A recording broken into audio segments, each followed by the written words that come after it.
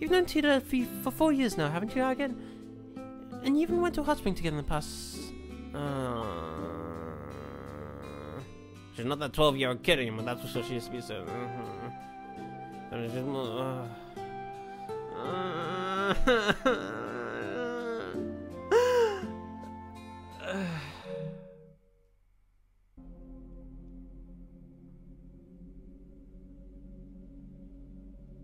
I want to do this. I want to do this.